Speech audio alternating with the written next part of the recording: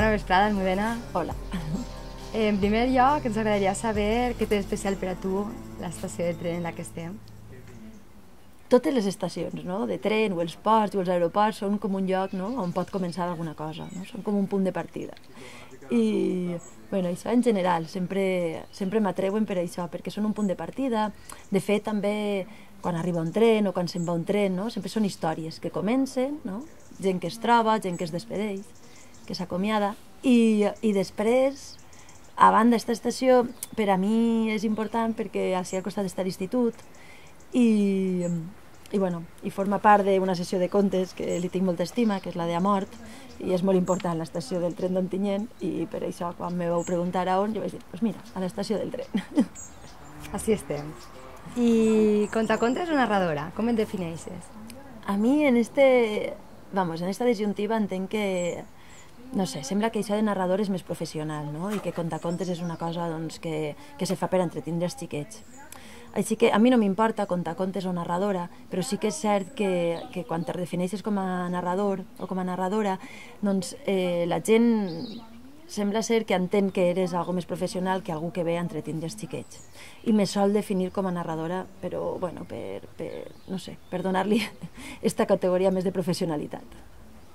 I d'on naix aquest esperit narrador?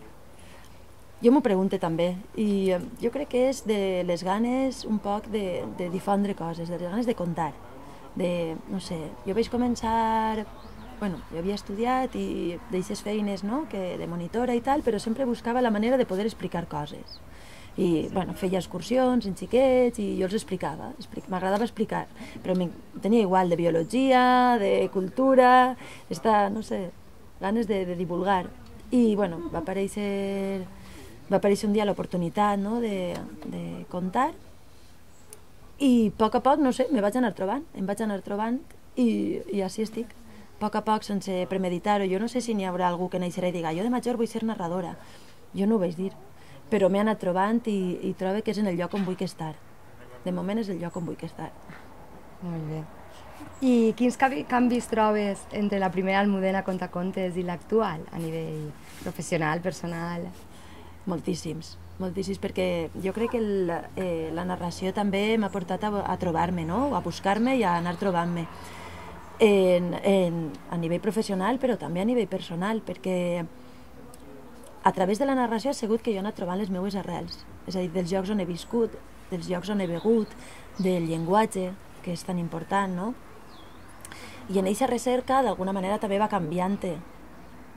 I en aquesta recerca estic, perquè això no s'acaba, no? però evidentment sóc molt diferent a la primera, a la primera almudena que contava, que ja contava conte tradicional, però bueno, fas una recerca, també vas buscar quin tipus de conte vols contar i quin tipus de conte no vols contar. Cada moment és, un, és una cosa, perquè el que ara tens ganes de contar, després no tens ganes de contar-ho, no? No és algo que siga lineal, sinó que és algo que va i torna. Però bueno, canvis hi ha moltíssims, moltíssims. Sempre estem canviant. Sí. Recordes la teva primera actuació? On va ser? I... La primera vegada que em van pagar per contar, no? suposo que contar he contat moltes vegades, però la primera vegada que van dir, bueno, pues te programem i me van pagar va ser en la biblioteca de Vilanova i la Geltrú, eh, en la província de Barcelona. Jo vivia allí i van començar a fer l'hora del conte i podia anar qui volia apuntar-se.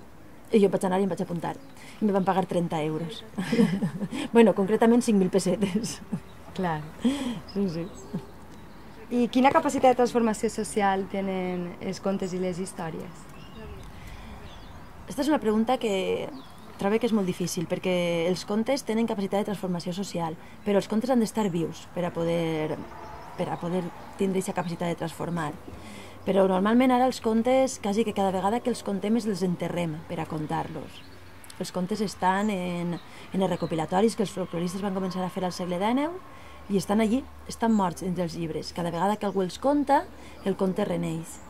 Si és un conte que t'ha arribat de la tradició oral i és un conte que no s'ha deixat de contar, aquest conte d'alguna manera sí que ha anat transformant tots els llocs per on, ha, per on ha anat passant, de la mateixa manera que el conte ha anat transformant-se. Clar, intentar agafar un conte que l'última vegada que se va contar va ser al segle XIX, que va acabar escrit en un llibre, i ara transformar el conte per a que aquest conte suposi no, un, un canvi en les mentalitats de la gent que escolta, jo crec que molt de sentit no té. perquè els contes són una cosa que són lents en la seva transformació, en l'assimilació de la gent que els escolta, també són lents, i cal donar-los el seu temps de maceració. Per tant, han d'estar vius i clar que serveixen per a la transformació social, però els contes no deixen de ser un reflexe d'això que ja hi ha. Els contes no deixen de... Si els contes parlen de princes i princeses i de relacions de poder, és perquè els contes transmitien allò que hi havia en aquell moment, unes relacions de poder molt, mal, molt marcades. I era la manera de fer entendre als menuts que podien créixer i que podien lluitar contra allò que era gran, no? els contes contra dracs, no? o els contes de, dels menuts que acaben aconseguint tornar tots els germans a casa. No? eh, no sé, n'hi ha mil exemples, no? Però, però els contes tenen aquesta capacitat de transformació des del moment en què es conten, però moltes vegades el contem des del punt de vista de voler dir en el conte allò que l'altre ja ha de pensar. I no, el conte ha de ser una finestra, el conte és una porta que t'obre a tu el cap per a que tu penses després. I en aquest camí estem, no? I en aquest camí sí que estic, en el camí de contar i a qui li pica que rasque. I si no t'ha picat, perfecte, doncs una altra història, no? Però això és, el, bueno, és el camí que jo he triat ara. Molt bé. I en quines problemàtiques socials estàs més compromesa ara? Jo crec que inconscientment pot ser en moltíssimes, no? però així a nivell més conscient la defensa del territori. I del territori entès com, com a lloc físic, però també del territori com un espai mental i com a una pàtria molt íntima i molt pròpia de cadascú. No? Que això, que, que, diguem, que, que tinguem la capacitat d'això poder transmetre que això no acabe colonitzat per, per les cultures majoritàries i que puguem defensar no? les cultures minoritàries, en aquest moment la nostra, no? però qualsevol seria. Per això és molt important, per a mi és important, no? I per això busque, busque els contes d'arrel, busque els contes, aquells contes on hi ha personatges que, que igual no coneguem, no? Últimament, per exemple, vaig boja preguntant-li a tot el món per la tia Sabatotes, no? que era un personatge del poble, que era una dona que portava trabuc, no? i pense que, bueno, eh, també no? en, la meva, bueno, en la meva defensa de, de, pues, o, intenta, o intenta de defensa, no? de, de fer que el gènere siga, siga pues, algo més que, que una lluita no? I, que, que, que siga una qüestió d'orgull també, no? de, de gaudir d'aquest gènere en el que ens ha tocat néixer, doncs bueno, pense que igual hi havia dones no? de fa 100 anys o 200 anys que ja ho pensaven, no? que podien per elles mateixes salvar-se i, bueno, i vaig buscant així personatges no? que ens puguen anar portant a, a estos llocs on jo vull estar. No? Pues, bueno, la defensa per la igualtat de gènere, la defensa del territori, també la, la defensa, ja, ja no la defensa, sinó el dret a poder parlar la llengua que vulgui parlar allà on la vulgui parlar, no? enllà del territori. Intente no agafar-me com una lluita. No ho sé, eh? si això és l'edat o és el temps, o com... no, però intente no lluitar, sinó, bueno, aquesta és la meva opció, jo ho faig així, i perfecte si te sumes i perfecte si ho hem de discutir, no? però intentar no fer bandera absolutament de tot sinó que, que no sé, els contes un poc han anat donant-li aquest espai no? de maceració que te deia abans a les coses de dir, bueno, això és així i ja anirem anant, no? Sense perdre el camí, sense perdre el camí, però bueno, un camí tranquil i... Que siga un gaudi. Sí, i plaent, exacte. Molt bé, molt important tot. Sí. Eh, contes infantils, contes dirigits a adults, a adolescents, en quin format et sents més còmode? Els contes abans no tenien edat, se contaven allà a la vora del foc i els escoltava qui estava. Evidentment, els xocotells s'adormien, no? o se n'anaven a córrer i no passava res. Però, clar, quan del conte se va fer una, bueno, pues un producte comercial, clar, se diferencia per edats, no? I sí que és cert que hi ha, hi ha certs contes que es conten més als infants i contes que, que, bueno, que un pensa més per als adults, no?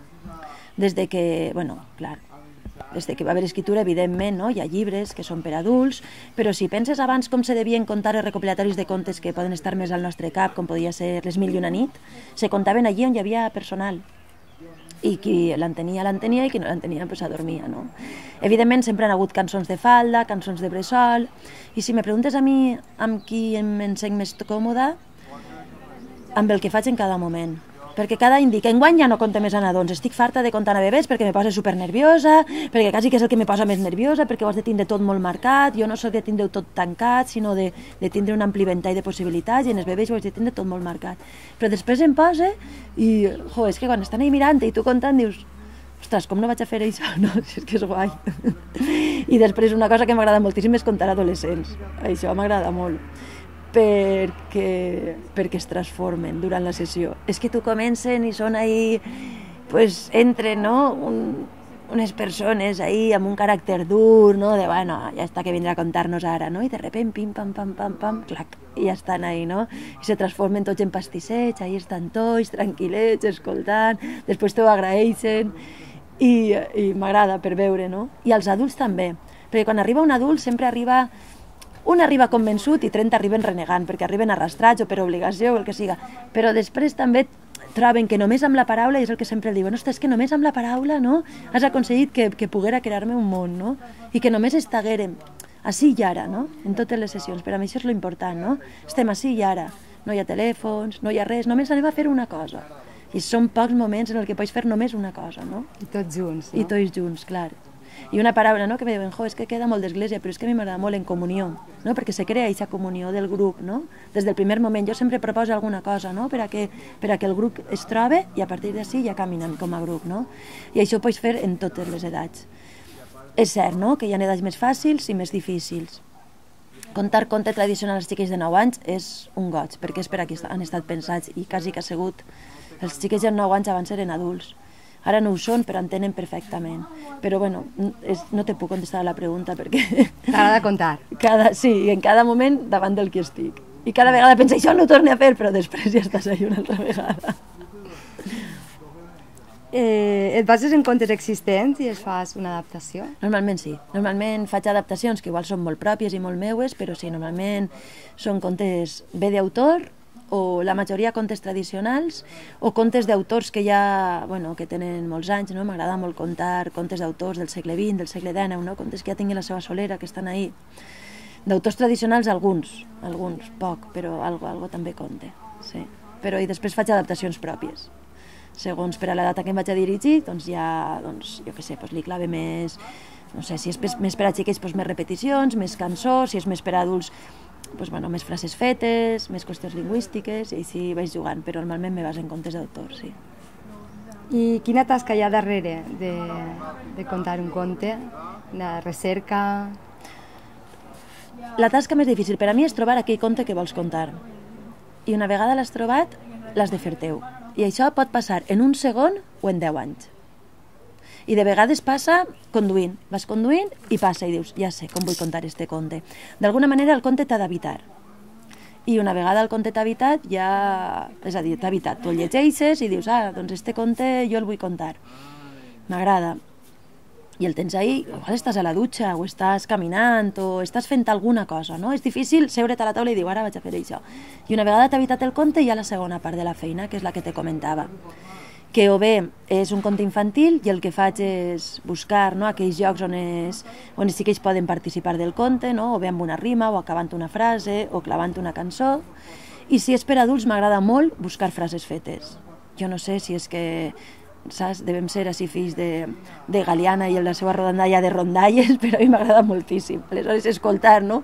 la veu de ma mare, que ma mare parla tot el dia en frases fetes, no? I jo vaig llibreta darrere, no? I ara venia ja on vist també que hi ha molta cultura no? del lèxic i de la frase feta, i, i clavar-ho i clavar-ho en el conte. I quan ja he aconseguit parlar-lo en la meva llengua i clavar-li aquelles coses que jo m'estic fent meues, ja el conte ja va de fil. I per aquell conte el puga contar tranquil·lament, no? en una sessió. Una cosa és provar-lo en un dia, de dir, mira, i ara després de la meva sessió vaig a provar este conte, no? Això pot passar, però per aquí se conte forme part del meu repertori i el puga contar, i si conta un conte, este, passa molt de temps, moltíssim temps. És una feina molt lenta de buscar, a banda de buscar el lèxic, de buscar altres, altres versions del mateix conte, de buscar-li altres opcions al conte, d'intentar contar-lo, doncs si sempre l'he contat des, de, des del protagonista, doncs no, ara vaig intentar contar-lo des d'un des d'un altre punt de vista, no? I aleshores el conte se transforma i va, i va agafant altres, altres textures i altres colors. Que bonic. Sí. I has pensat en fer un recull en escrit de, de les teves adaptacions? De les adaptacions, un recull per escrit, així, de totes les adaptacions, de moment no ho he pensat. No sé, suposo que això és una feina de, de persona ja gran, no? que jo no em considero encara, però bueno. Sí que, sí que tinc eh, pues, diferents projectes i un d'ells és anar recollint no? contes que, o versions de contes que igual no estan recollides. Eh, he escrit un únic conte i he publicat un únic conte i és una adaptació meua d'una faula, o sigui que com a, com a contes així sols, no, de moment podria ser, no? Com a recull, no sé, trobo que són paraules majors. Però no saps mai, eh? Perquè jo mai anava a publicar un conte i de repent un dia me vaig trobar en que tenia un, llibre als meus mans que portava el meu nom a la portada i dic, ah, pues mira, sembla que sí que anava a contar un conte jo a escriure's, no? No sé, aquestes coses de vegades passen i passen a un ritme que tu no controles, no? Però bueno, de moment ahí estem, no ho sé. Contes a la fresca. Eh, projecte que pretén recuperar la tradició oral rondallística de la Vall del Vall de la Safor eh, un estiu, poble a poble, mm. eh, contant contes amb, amb narradors locals, no sempre professionals. Com has viscut aquesta experiència? Ha sigut un regal, però un regalàs, perquè, eh, clar, ha sigut eh, una proposta que va fer la Mancomunitat, bueno, realment Pep Estornell, l'alcalde de Llutxent i que és professor de valencià i fa molts anys que, que jo vaig a l'institut i que el conec perquè porten un projecte molt bonic, el de Rondalles de la Vall del Vell, un llibre que fan a partir de les rondalles recollides per els estudiants de l'institut i, bueno, i que un poc va, després el, el projecte de Contes a la Fresca el va portar eh, Josep des de la Mancomunitat, no? I, I per a mi ha sigut un super regal, perquè ha sigut poder anar poble a poble amb gent del poble que té ganes de contar i que contava històries davant de tota la plaça. Places plenes de gent només que anaven per a escoltar contes. Durant una hora una nit d'estiu. Era un regal, perquè normalment quan arribes als llocs o programes una cosa costa molt que la gent vagi. Als tècnics, als bibliotecaris els costa moltíssim. I pensar que, ostres, que n'hi ha un format que funciona, no? i que arribes al poble i que allí te dic que hi havia pobles, pobles que són de 2.000 i 3.000 habitants, 300, 500 persones a la plaça. I amb un narrador local, una narradora local, la majoria narradores, dones, que contaven, contaven una història que la majoria de la gent coneixia, i després contava jo. I ja està. I no n'hi havia res més que això. I la gent se n'anava contenta perquè anava a escoltar, escoltava i ahir s'acabava. Ha sigut un super regal. Un regal jo crec que per a tots, no? Perquè, perquè no ens ho esperàvem. No ens ho esperàvem i ha funcionat. Ha funcionat molt bé. Molt bé. Un èxit. Mm. Per al casal Jaume I de la Vall d'Albaida has sigut i eres una col·laboradora en molts aspectes. Va ser tu, per exemple, qui va impulsar la recuperació de l'home dels nassos, una tradició que s'estava perdent i de molta importància per als pobles de parla catalana. Què ha passat perquè xiquets i xiquetes hagin deixat de buscar l'home dels nassos? Suposa que, com en totes les coses, doncs, quan ja no cal, quan ja no, ja no hi ha la necessitat, doncs ja no se, se deixa de fer, no? moltíssimes coses ja no les fem, jo que sé, no ens fem les espardenyes perquè podem anar a comprar-les, no? Aleshores, doncs, se perd la tradició i també doncs, els, els coneixements de fer espardenyes. Amb l'home dels nassos és igual. Abans hi havia una necessitat, era la necessitat de crear aquesta fantasia en el cap dels xiquets perquè era una qüestió compartida, no? De l'adult, que li deia al xiquet anem a buscar l'home dels nassos o a veure a buscar l'home dels nassos, i el xiquet que anava i el buscava. Tot això està colonitzat per altres tradicions, que no són millor ni pitjor, són altres, altres que ens estan colonitzant així, culturalment. I, bueno, igual que ahir va ser Tots Sants i la gent se va disfressar i va eixir al carrer, com els països anglosaxons, a celebrar d'una altra manera, no? Amb l'home dels nassos el que passava és que no hi havia la necessitat, no hi ha la necessitat d'anar a buscar l'home dels nassos. Això se va perdent, se va perdent. Però jo me vaig donar compte de que s'havia perdut en molt poc temps perquè jo havia anat a buscar l'home dels nassos i jo no sabia si era una qüestió... Jo, clar, com que tu ho havies fet, pensaves que tot el món ho havia fet. I algun dia se me va començar a ocórrer preguntar a la gent escolta, tu vas a buscar l'home dels nassos? I quan tens fills, no, dius, ai, anem a buscar. I la gent diu, qui és l'home dels nassos? Com, no saps qui és l'home dels nassos? I, ostres, doncs això ho hem de recuperar perquè perquè veus que igual s'ha perdut per falta de, de necessitat, però també per falta de memòria, no? Perquè en algun moment s'ha perdut la memòria i només cal refrescar-la. I bueno, no va caldre més, nosaltres a l'home dels nassos només li fem una festa des del casal, bueno, i tota la, tota la gent que participa, no? Però li fem una festa benvinguda, perquè l'home dels nassos no ve. L'home dels nassos l'has d'anar tu a buscar i hi ha qui el veu i qui no el veu, no? I en això es basa, en, en que seguisca passant això, en que l'home dels nassos arriba en tren, a Ontinyent, no? El primer any vam anar a preguntar-li a moltíssima gent que era més gran, com ho feien per anar a buscar l'home dels nassos. L'home dels nassos arriba en tren, on tinyent, porta gabardina, porta barret. La majoria de cases és així, en altres n'hi haurà altres maneres de contar-ho. En ma casa era així, la gent amb la que vaig parlar majoritàriament també. Passava la nit en l'Hostal del Sol, que estava al poble, i els xiques entraven a preguntar-li a l'hostaler o a l'hostalera, ah, està l'home dels nassos, ja! i l'hostaler el seguia amb la granera, i els xiques se colaven per la finestra, se colaven per la porta a veure si trobaven l'home dels nassos, no? O a tocar-li els nassos a l'hostalera, fora com fora la cosa, no? Que la qüestió era passar-ho bé. I ara la idea és la, la mateixa, doncs fer que, que els xiquets tinguin la il·lusió, els xiquets i els grans, perquè és que a mi me fa il·lusió que sigui el 31 de desembre poder dir avui és l'únic dia de l'any que ve l'home dels nassos, no? I qui és eixe? Doncs ho contes, però l'home dels nassos és un home que cada dia de l'any li, cau, li cau un nas. I quan arriba cap d'any diu avui seré, i ve on tinyen eixe dia, és l'únic dia de l'any que ve. I una cosa que passa només un dia és una cosa molt divertida. I és Clar. qüestió de fer de, de algo que és fàcil, barat i assequible per a tots, una cosa molt divertida. Una festa. Sí, una festa. I en general, quins són els factors que influeixen en la desaparició dels contes i... I de l'imaginari col·lectiu, jo què sé. Jo suposo que és això, no? que se'ns va colonitzant per altres històries, perquè imaginari necessitem.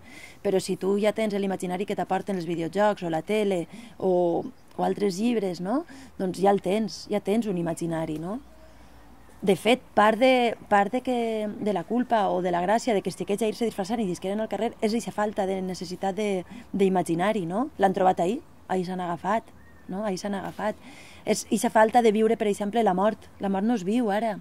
Els morts van al tanatori, no es vegem, no es parla d'ells, no, no fan olor, no, no tenen tacte, no, no existeixen, però no deixem de necessitar parlar de la mort. Per tant, ens inventem altres històries, no? i amb, amb els monstres. Abans hi havia la necessitat de dir-li als xiquets, mira, o als grandets, no camineu de nit per els camins, perquè eren perillosos els camins, aleshores ens inventàvem, ens, la gent, no? l'imaginari col·lectiu s'imaginava aquests monstres que feia que la gent no se n'anara per els camins. Si existien era perquè hi havia una necessitat de que existira, no existien, no se van inventar perquè, perquè la gent tenia moltíssima imaginació, i no, hi havia una necessitat. El que passa és que la necessitat d'imaginar segueix estant. Per tant, el que hem de fer és recuperar aquests monstres, aquestes tradicions nostres i anar donant-los aquests llocs que estan ocupant altres tradicions. Però, bueno, la necessitat existeix i, i la van ocupant, clar, és que té més poder, clar, és que on vas tu, no? Jo que puc anar a tres pobles a la setmana, però la tele està tots els dies dins de casa, no? És que, clar, el poder és Clar. poc el que tenim. Aleshores, clar, això no és que els narradors anem als pobles a contar, és que els pares i les mares doncs, recuperen no, aquest espai, i els iaios sobretot recuperen aquest espai de narració, aquest espai de contar, i que vagin contant aquelles coses. En Ontinyent se contaven coses dels wendos, no? O, o jo que sé, quantes vegades estàvem torbats a les nits buscant gambosins per el carrer, no? I, i ara se va. Pues sí, hi ha famílies que van, però altres que no van, no? I simplement per el fet de que era divertit, no? Eixir a les nits a, a la caseta o pels camins, ah, anem a buscar gambosins, i tornaves a casa i no n'havies trobat, o hi havia qui posava caramels, mira, no han deixat caramels, i tornàvem, no? I ja està. Molt interessant, aquesta visió de necessitat. Mm. I qui et coneix diu que eres una convolladora nata. En quins altres projectes has col·laborat o col·labores? No ho sé, mira, m'agrada allà on estic, doncs, doncs fer allò que, que, que està al meu abast, no? Jo què sé, doncs és de veres, no? He estat al Llombo i hi havia, bueno, hi havia un desencant al voltant de les festes del Llombo i van dir, Jordi, no? El meu company i jo, doncs, jo, quina pena que el barri no tinga festes. Vinga, que si fem quatre telefonades se fa la festa. I és cert, és que si hi ha xarxa és fàcil fer les coses, no? Igual jo sí que sóc d'encendre la metxa, i de... però és que no en tinguin ja moltíssima xarxa, és molt fàcil fer alguna cosa, no? L'home dels nassos, bueno, pues en el casal en seguida es va agafar, es va agafar la coordinadora, és d'escoles de, pel Valencià, la Vall d'Albaida, no? i es va agafar altra gent i de seguida, pum, es va agafar el regall i de seguida festa de l'home dels nassos, no? En festes del Llombro va ser superfàcil, es van agafar els meruts, es va agafar l'escoleta del Llombo, es van agafar... i fàcil. Jo crec que el que és més important és poder fer aquesta xarxa, no? I, bueno, doncs així amb qüestions més socials, doncs, bueno, a mi m'agrada anar a la serra i, i quan podem, no?, doncs anem amb l'arrel, hem estat amb, pues, amb la plataforma contra l'alta tensió i doncs, bueno, allà on estem intentem no, bueno, pues, veure què se mou, què passa i estar ahí, no? I a nivell més, no sé, pues, més, diguem, de la feina, tinc la, la intenció i estic començant projectes de recuperació de memòria de recuperació de memòria de persones vives, és a dir, d'intentar no? que, que, que ens conten i més que per a guardar els contes, per a guardar eixa manera de contar, perquè d'això me n'ha donat aquest estiu, que els contes estan escrits, però no estan aquestes expressions, aquests silencis que la gent fa, aquesta manera no, de que la dona comença a contar i diu bé, no? L'oratge està aguantant estos dies, eh? I fa un silenci.